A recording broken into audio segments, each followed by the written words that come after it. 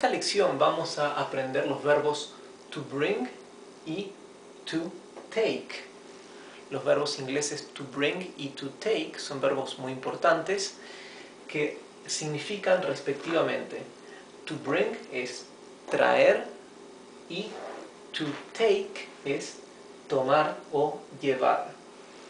También en esta lección vamos a continuar viendo ejemplos y oraciones eh, de cómo utilizar los pronombres this, that, these, those que hemos visto en las lecciones pasadas. Y si no habéis visto mis lecciones pasadas, os recomiendo que vayáis primero a ver esas lecciones para ver cómo se utilizan cada uno de estos. ¿sí? O sea, this es este, that es ese o aquel, these es estos, those, aquellos. Bien. Y en estos casos, cuando this one, ¿verdad? Son casos en que reemplazan al sustantivo y equivalen a este, cuando decimos este con tilde en la E. Y tenemos los casos cuando no reemplazan a los sustantivos, sino que van acompañados del sustantivo. Por ejemplo, these books, estos libros. En este caso es el estos sin el tilde en la E, ¿verdad?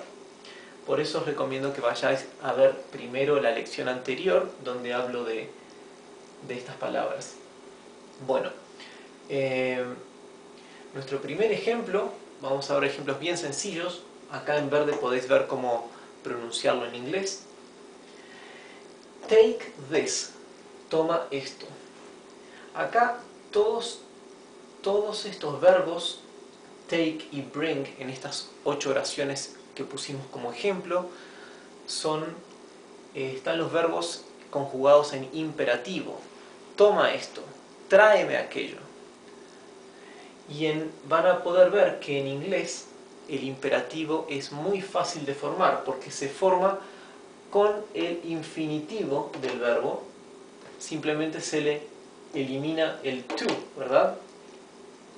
El to se elimina y bring o take ya es el verbo en imperativo. Bien, así que take this es toma esto. Bring me that. Tráeme aquello o tráeme eso. Take her these.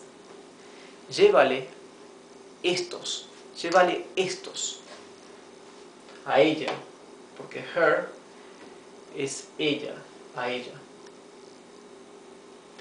Bring us those, bring us those.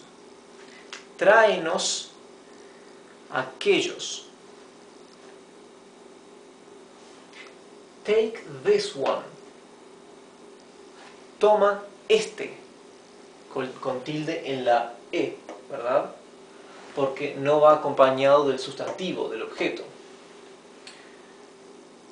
Bring me that one. Bring me that one. Tráeme aquel. Take her these books.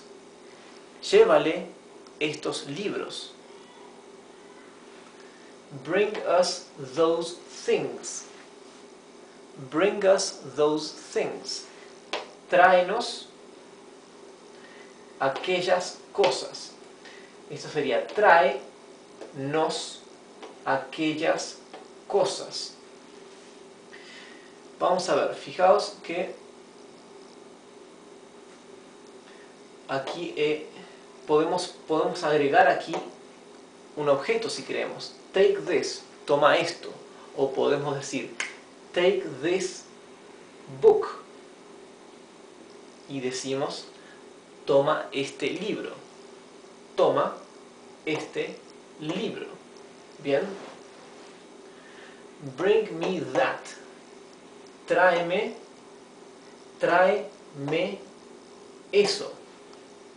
O también podemos decir, tráeme ese libro.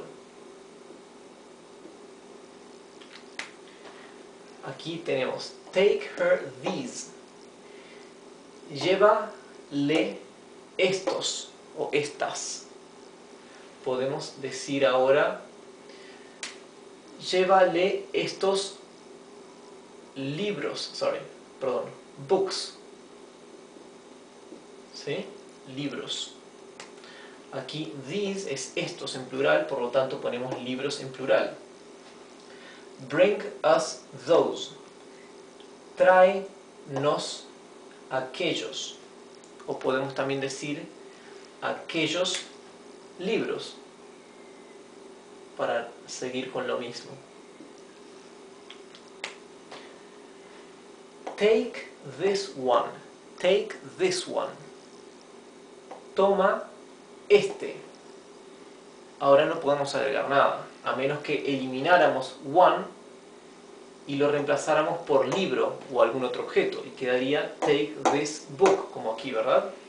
Lo mismo con bring me that one o tráeme aquel.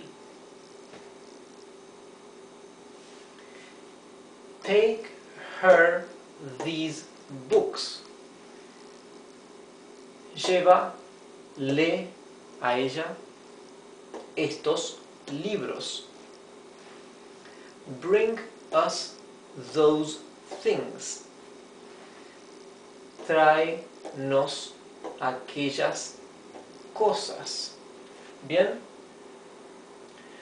Por lo tanto, como podéis ver, bring, bring y take es muy fácil colocarlos en imperativo.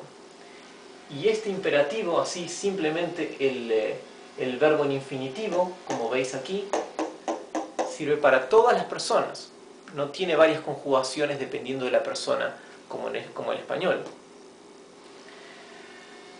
Y además, el infinitivo del verbo es también el, eh, el presente del verbo, ¿ok? O sea, diríamos, I bring, yo traigo. I take, yo llevo. O yo tomo, ¿verdad?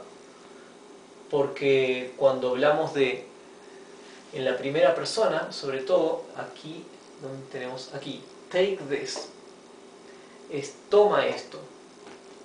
O también puede ser lleva esto. ¿Bien? O sea que el verbo to take puede hacer referencia a tomar algo o a llevar algo, llevar a algún lado.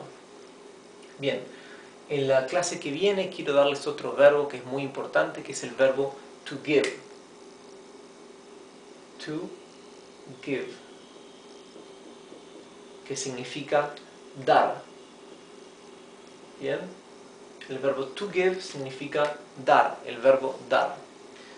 Así que vamos a ver algunos ejemplos del verbo to give y luego empezaremos a ver conjugaciones.